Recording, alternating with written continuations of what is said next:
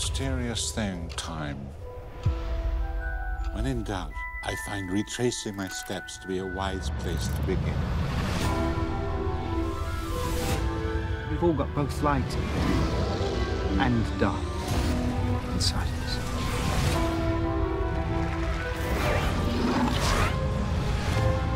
What matters is the part we choose to act on. That's who we really are.